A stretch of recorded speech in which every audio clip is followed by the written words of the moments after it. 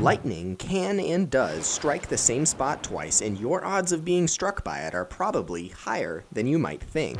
This is Friday Facts, a new series where every Friday we bring you a quick fact to brighten up your day and close out your week with a little bit of knowledge. Your odds of being struck by lightning in your lifetime are 1 in 3,000. Your odds of dying from said lightning strike in your lifetime, however, are only 1 in 161,856. So, the next time you're in a crowded place, look around who will lightning strike next? And if you do get struck, a single bolt of lightning is around 50,000 degrees Fahrenheit or 5 times hotter than the surface of the sun. Each bolt averages 2 to 3 miles long and can carry a current of 10,000 amps at 100 million volts. In case your fears of being struck by lightning haven't shot up enough yet, every second there are 50 to 100 cloud-to-ground lightning strikes on Earth. So, the odds of being struck by lightning in your lifetime are probably higher than you thought. Say hello to your new biggest fear. And that was your Friday Fact.